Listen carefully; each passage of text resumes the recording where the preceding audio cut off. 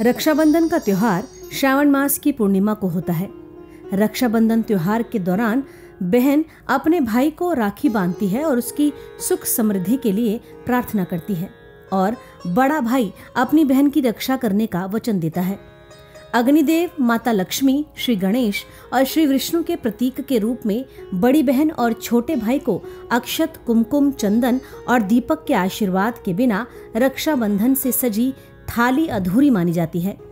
लेकिन इन सबके साथ कभी कभी ऐसा होता है कि यदि रक्षाबंधन के शुभ दिन पर कोई बच्चा पैदा होता है या किसी की मृत्यु हो जाती है तो ऐसे में राखी का त्योहार अशुद्ध हो जाता है और लोग त्योहार नहीं मना पाते। इस स्थिति को सूतक कहते हैं। लेकिन ज्योतिष शास्त्र के भी अपने समाधान और नियम हैं। आइए जानते हैं उन नियमों के बारे में। जब किसी परिवार या घर में किसी बच्चे का जन्म होता है तो उस घर में सूतक लग जाता है। गरुण पुराण के अनुसार सूतक की अवधि दस दिन होती है।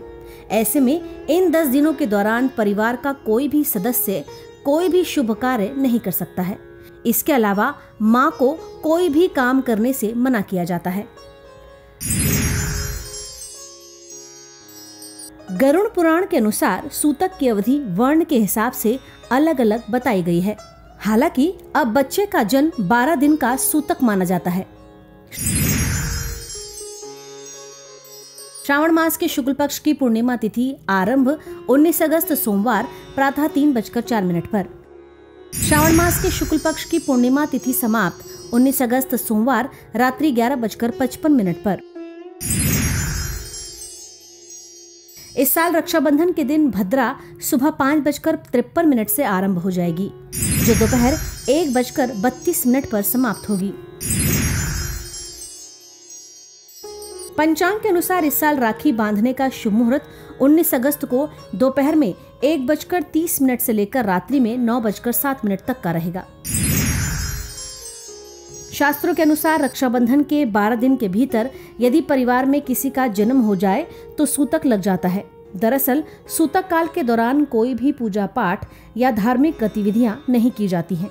हालाँकि, आप कुछ नियमों का पालन करते हैं तो सूतक काल के दौरान राखी का त्योहार मनाया जा सकता है। यदि परिवार या घर में सूतक है तो बहनें भाई को राखी तो बाँध सकती हैं, लेकिन कुमकुम, चंदन का तिलक या आरती जैसे शुभ कार्य नहीं कर सकती। सूतक के दौरान पैर नहीं छुए जाते, इसलिए राखी बांधने के बाद भाई या बहन को पैर नहीं छूने चाहिए, बल्कि झुककर आशीर्वाद लेना चाहिए।